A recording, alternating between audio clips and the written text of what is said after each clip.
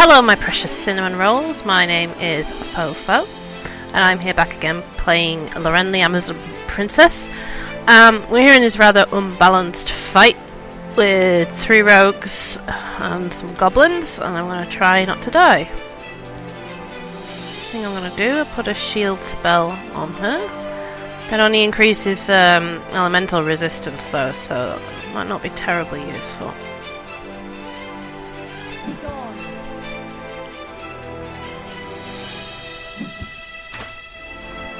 Ouchies. See if we can. No, did I?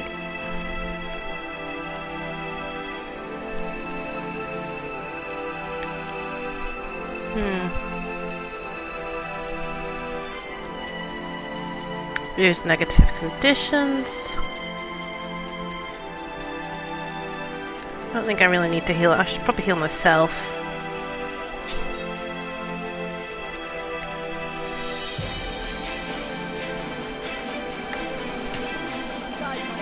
Brazier can do that as well. Oh, now we need to heal her.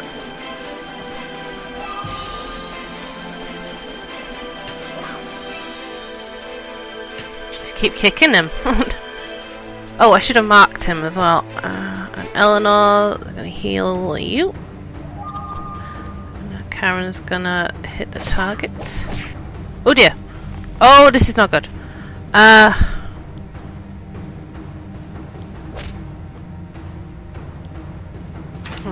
Oh crap, crap, crap, crap, crap, crap, crap. Thank you. Ah! Try again. Oh dear. Um. Okay. There's no point using the shield spell because it only reduces elemental resistances. Uh, instead, I'm going to shoot the wizard. I think I was going to shoot the wizard. Okay.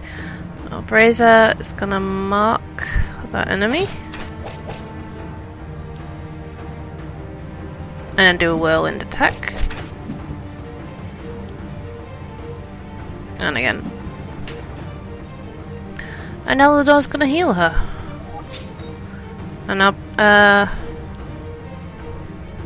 Karen's gonna mark... She's gonna mark, mark as well.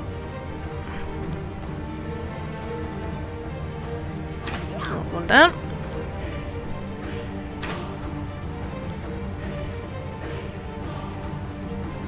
No, uh, Brazier's gonna mark that one.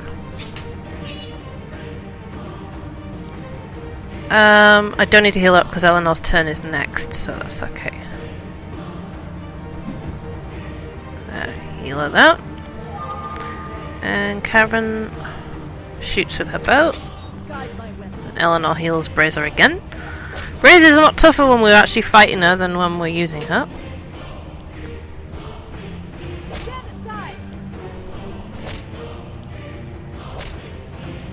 There we go. I better save my game in a different slot. Uh, the main square has been eradicated of goblins, and blood drips from the end of Karen's spear. The fighting rounds or something. Oh, we've done this already. Alright. it was the second boss fight. I didn't save, that's just why I had to do this again, so I've got the second boss fight. This is the one that I died died against uh, at the end of the episode, so I just skip forward. Um, so we've got we've got Grob, a spearman, a wolf rider, and a wizard and a scout. Oh, Karen's gonna mark. And Brazier's gonna mark that one. Ouchies! Karen's going to use her bow. She's gonna defend because she's helpless at the moment. Gonna defend again. Eleanor's gonna heal Karen. Oh dear. Oh dear. That was not good. Oh dear.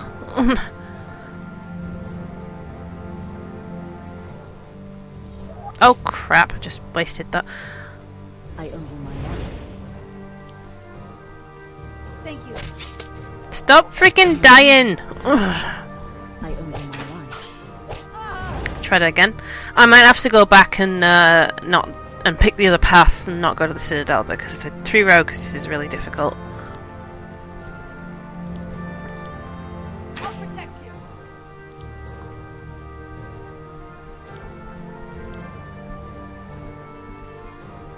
Two marks. Hmm.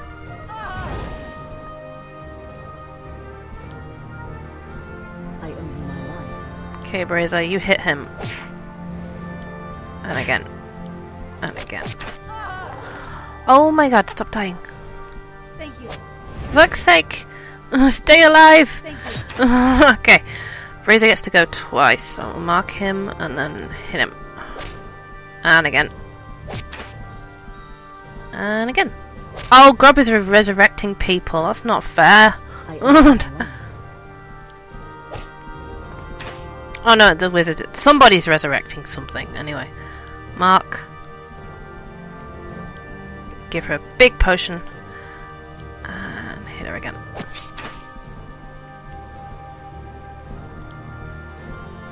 Power attack. And hit him again. Okay, so.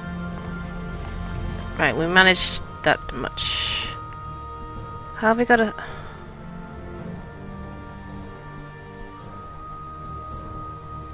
Our heal spells only target one person at once. Okay, uh, better heal Karen. Karen's gonna mark him. Razor's gonna mark him as well, and then they're both gonna use. Okay, Brazier's gonna mark Gob, Grub, whatever his name is. And then she's going to use a potion on herself because she's helpless. Oh, I wasted a, um, a whirlwind attack there. Karen's going to mark him and attack him with a bow, and he's down.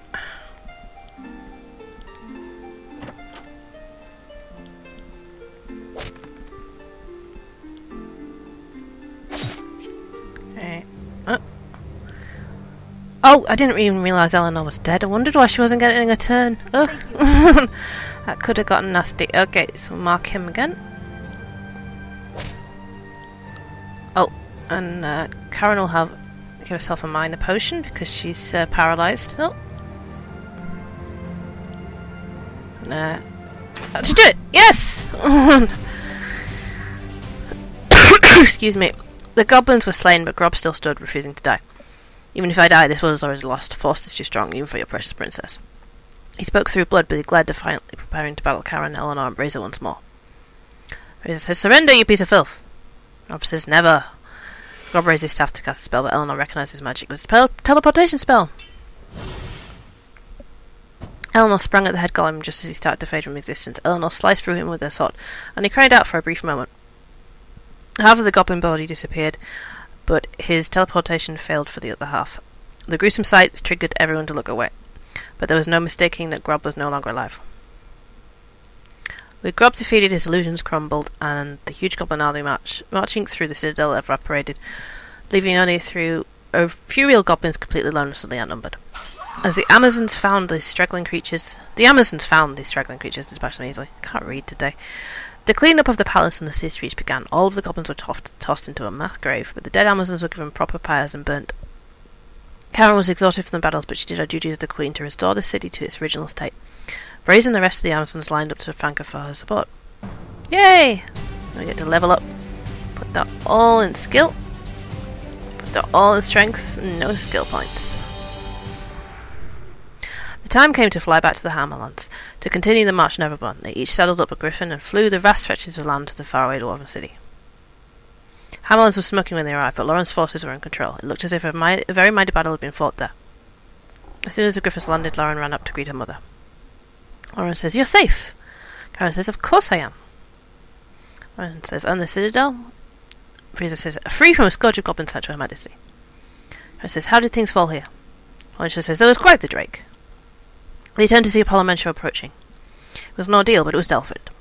Laura says, A drake? But they are so small. Laura says, Not this one. Laura says, Where is Amankiki? Montra says, Hmm, he's with his soldiers. Eleanor nodded to herself, suddenly too aware how obvious the question might be at a time like this. Oddly, she didn't care much what anyone thought of her anymore. Eleanor was too relieved to know that the gladiator was safe, even though she would never have thought she would care for such a man. After a pause, Eleanor cleared through. If you don't mind, I would like a word with all of you, in private. They looked at each other, wondering what sort of conver- conversation the parliamentarian needed to have with them. They quickly followed him into the keep. Eleanor stood next to Alone, waiting for parliamentarian to speak, but the excuse me, but the old wizard was quiet and reluctant to say what he called them to hear. Princess Lorraine, King Karen, Eleanor. You know that I and others have already fought force in the past. I should show you all now all that I have learned for that time. I says, You haven't told us everything yet? The old other says, No, no, some of it was too painful to remember.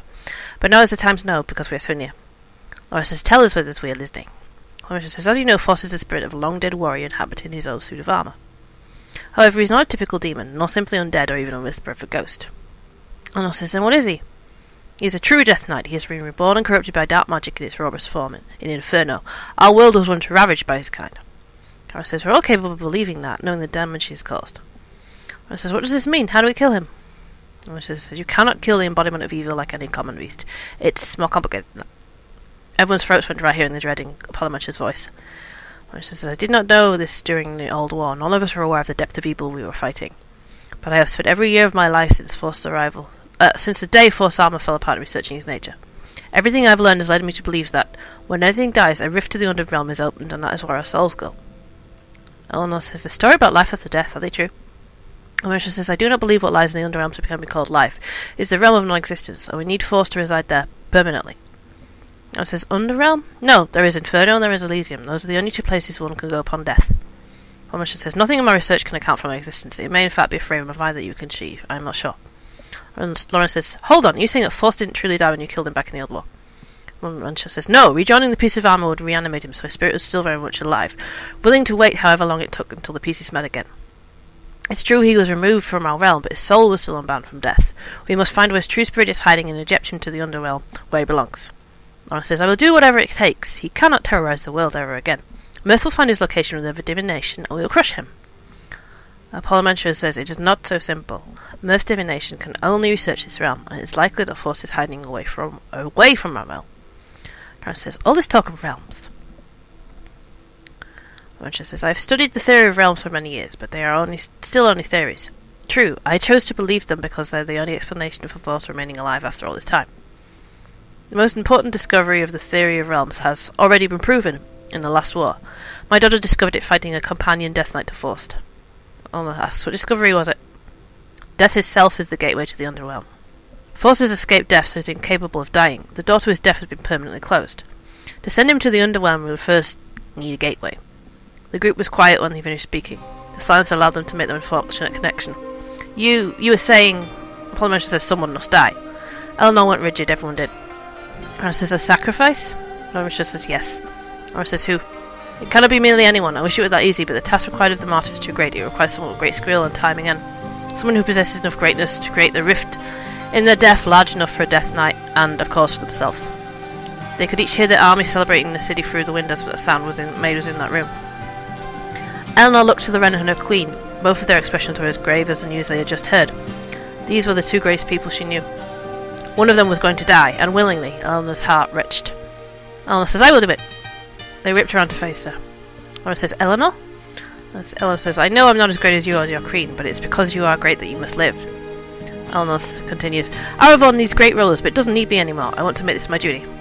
Laura says, absolutely not. Eleanor says, I will not let you do it instead. Loren looked horrified. Polymentia says, you do not need to decide now. All of you need to be prepared, just in case. Polymentia says, we cannot rest all our hopes on just one person, so all three of you should prepare yourselves. They gave up arguing who would sacrifice themselves as they all agreed to be nominated together. Which one of them would who would pay the highest highest price was yet to be determined. Horace says it may be for the best maybe best for all of us if this is kept private. It caused chaos amongst their comrades if they knew what had to be done. Loren knew that everyone would attempt to sacrifice themselves, just as Eleanor had done. She had already made up her mind to become a martyr, but unfortunately so had Eleanor and her mother. The door opened and Mirth entered the room. She immediately picked up the attention and looked around warily. I'm sorry, but I think it's time to start our divina- divination, Archwizard. Parliamentarian says, Yes, I will accompany you. Mirth and Parliamentarian left the room quietly. The three of them stood in silence with each other for a moment longer. Loren broke away first, briskly leaving. Ka- Karen gave Eleanor a compassionate yet pleading look and followed suit. Eleanor looked through the windows to the volcano just outside the city. In those mountains lay her fate. As a slave, she'd never thought she could give the world anything, and she never once desired to. But now there was only one thing she was sure of. Eleanor was going to lay her life down for our reform.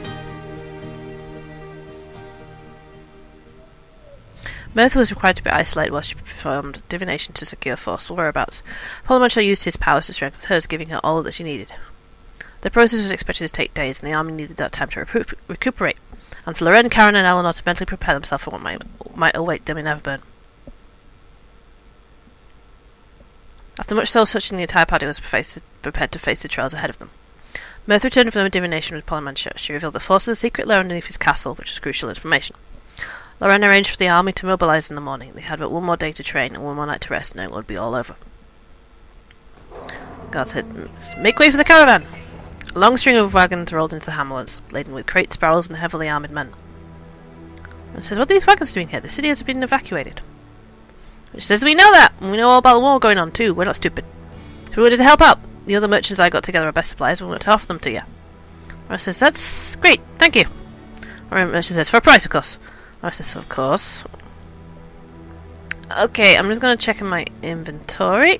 So we picked up, we got some new items um, from fighting uh, Grub. So yeah, that's a better staff for Draco. There's Mirth. There's Mirth. Let's see if that's an improvement. It's not an improvement. A minor frost sword. Uh, let's see. Where is Eleanor?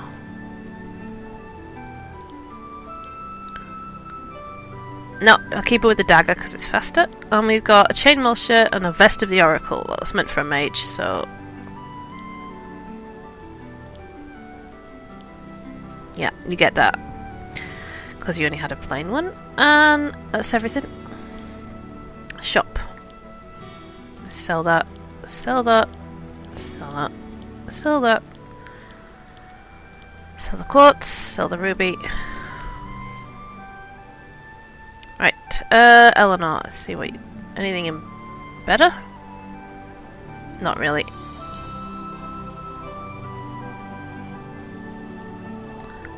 I don't want anything that drives her speed down, so no. Um, Loren, where are you? There you are. Right. Two-handed sword, no. One-handed. She's already got better. Oh! That armor. That armor would be good.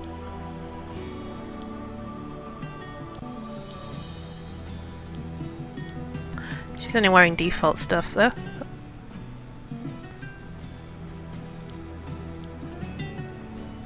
He's wearing because of the orcs. We'll sell those. I think we're done. Is have your men come to fight. Necessary says we might have, might. We're not going to risk our lives for nothing, you know. They grin, showing they were true blades for hire. Eh. I will pay you your dirty favour only because the coin will be useless for fail this next battle. Says, take it with my resentment. Gold is gold, lady, when under your command we'll try to behave. Loren ignored their seediness, knowing that the war on Everburn was worth any cost and needed the help of any hand, even those of bandits. Proceed. No amount of training or sparring would prepare Eleanor was about to happen. All her reservations about the future suddenly seemed so pointless. She walked silently through the cold halls of the Dwarven keep, Dwarven keep, listening to the battle preparations around her. Even that was numb to her. She opened the door to the room and stared at the last bed she was sleeping before the march to Neverburn. Amakiki says, Wait! Eleanor jumped and she saw Amakiki bound towards her with a scowl. She racked her mind for a reason why he would be angry with her. Amakiki stood in front of her, his anger more like pain now. He growled disjointed words for his teeth. Eleanor says, Calm down, what's wrong? Amakiki says, You had private council with Loren and Karen. Was why was I not sent for? His words echoed down the hallway, causing Eleanor to flinch. She whis- whispered to compensate. Polymentia didn't ask for you, I'm sorry. He must not have thought it concerned you so. Amakiki says, I know what was said. I know what role was to mine if I was the sword bearer. I know what he asked one of you to do. I know you would act as martyr. Eleanor swallowed, not wanting to discuss this so openly. Not with him, not yet. She dipped into her room, pulling Amakiki inside with, her, inside with her, sealing the room shut. As soon as they were private, she flashed her eyes upwards, and Amakiki returned her glare. You're upset because you wanted to sacrifice yourself instead, is that it? Amakiki says, I am angry. I know only this much, but I know that I'm angry. Eleanor says at me. Amakiki says, Yes? Can't believe it, you've been completely rational. You're right, I'm out of line. I'm being unreasonable. I didn't think before I came here, and I'm enjoying it. Eleanor says, You what? Amakiki tightly closed his eyes and bowed his head. Yeah, his breath caught in her throat. Her breath caught in her throat, even. Nomads do not he- need homes, but I'm no longer nomad. I want a home, I want to feel more than just need. I want more than rules or obligations. This, this anger, it is I am wanting. And his eyes immediately locked them with Eleanor's. He moved closer to her, but she had no room to retreat, pressing up against the door surrounding to his prying eyes. I want. As Eleanor says, What is it? Her words escaped in airy breaths as his shadow fell over. What you want. Oh, Smoochies! Yeah, I think I might have broken the uh, Misfit romance by going to the Citadel. So we got Amankiki. I don't know, I'm not, I'm not complaining. Amankiki dove in quickly, slamming his mouth onto hers. His rough hands found her back, though she was already pressing against his hard chest as much as she could. He unhinged a deep desire in her, one that she had tried to bury every time she fought, saw him fight, or when he looked at her across the camp, or when they had traded heated words. Their jaws began to move deep in the kiss, their breathing increased to, uh, increased to a rate they had each Ah, I didn't ma- mangle that. Their breathing increased to a rate they had each had only experienced in battle, it's hard to say.